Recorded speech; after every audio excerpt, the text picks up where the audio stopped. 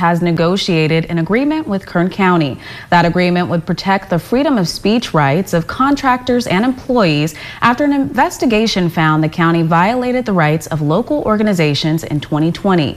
Now those organizations are speaking out.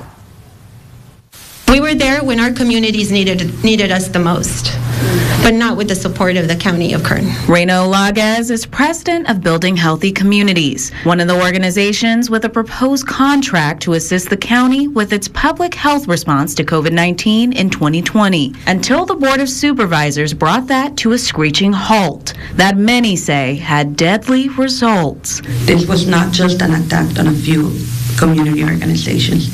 This was an attack on constituents.